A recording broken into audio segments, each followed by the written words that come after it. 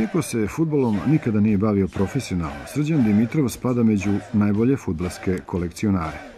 Ovaj vatreni navijač Partizana, a i futbolskog kluba Balkanski više od dve decenije sakuplja futbalsku literaturu, beleži u svoj dnevnik sve rezultate Partizana na domaćem i inostranom planu, posveće utakmice i posebno večiti derbi sa Crvenom zvezdom. To datira početkom 80. godina, kad sam ja bio mojih 7-8 godina. To počinje prvo sa lepljenjem siličica, vi znate albumi u to vreme, pa onda počinje onaj sportski, ilustrovani sportski list tempo, sakupljanje postera i onda se sve to nadoveže jedno na drugo i onda počinje period prikupljanja knjiga, znači istorijski vezano derbi, partizanove knjige, onda evro takmičenja i tako to evo.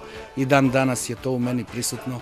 Kupujem knjige putem poručbenica, putem tako po sajmovima knjiga i, I posećaš utakmice. I posećam utakmice, naravno, to je mora, jer sa time, znači, ne može ni jedan navijač doživeti nešto kad mu neko drugi prepričava, nego da bude prisutan u ovom trenutku na jugu ili istoku ili zapadu, znači, Partizanovog stadiona čak i severu ako nije derbi. Znajući do tančina skoro sve generacije futbolera Partizana od osnivanja do danas, Srđan nam saopštava svoje viđenje najboljeg tima ovog popularnog kluba. Najuspešnija generacija futbolskog kluba Partizan je sigurno generacija 1965. na 6. finale Kupa šampiona sa Realom, nažalost izgubljena sa 2-1 i uprko svojstvu Partizanu.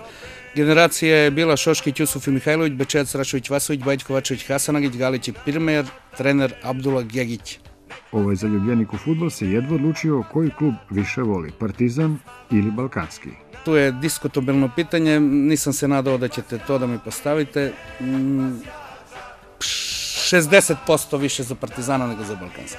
Njegov stariji sin Boris je golman kadeta radničkog iz Pirota, a mlađi Luka bavi se košarkom i želja mu je da obojica postanu uspešni sportisti.